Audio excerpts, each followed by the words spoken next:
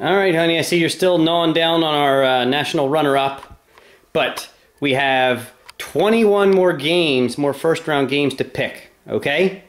Now I'm just gonna let you choose how many we have, how many upsets we're gonna have. You ready? Okay. No, those those don't open. Hey, honey. Look. Look at these blocks. Look at these blocks. Here. I need you to pick up two blocks and we're gonna multiply those. No, okay. No, that's not gonna work. You know what?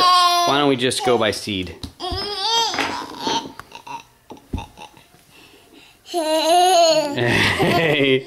Okay. Alright, you've done a good job, honey bunny.